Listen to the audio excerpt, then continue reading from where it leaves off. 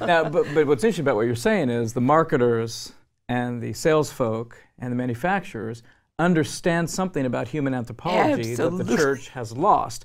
And the church might counter by saying, well, no, we don't want to become like them. We don't want to go for just the body and desire. We want to, chiefly want to go for the mind.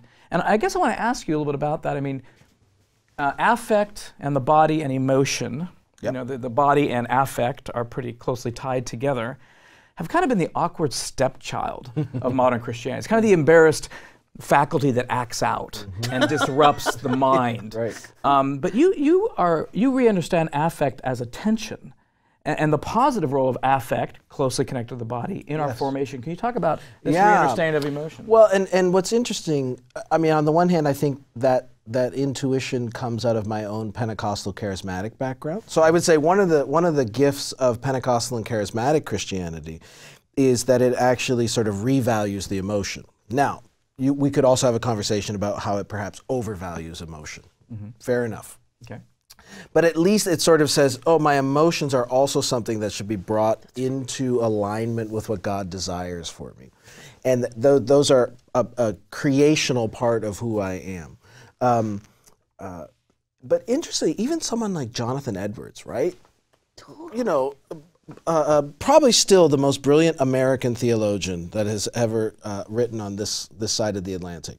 Um, the affections are defining for us. Mm-hmm. I think you're totally right, though, Todd. That um, marketers are our culture's most brilliant psychologists. They mm-hmm. understand how this works. They understand the kinds of creatures we are.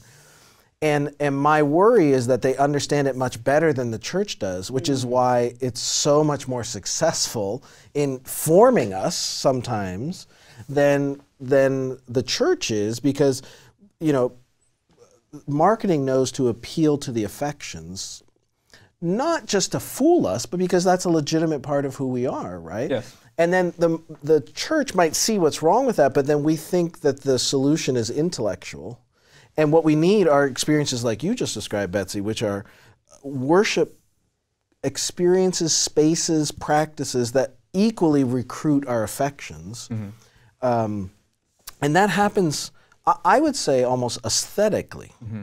Right? I mean, you, you, the, everything you described there were all the senses.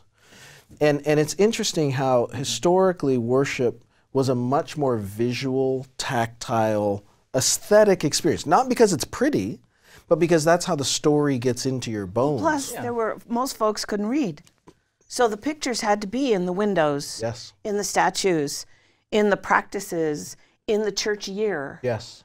Um, in and Jesus, I mean, we're on such firm ground here. Yeah. You know, coming right out of the Old Testament, yeah. we have Jesus and baptism and feasts and touching and healing and posture and prayer and as well as proclamation. Yeah. yeah. Right. And he fed people too. I mean, right. it's just it's right. all there and it's ours. Right. The church just needs to take it back.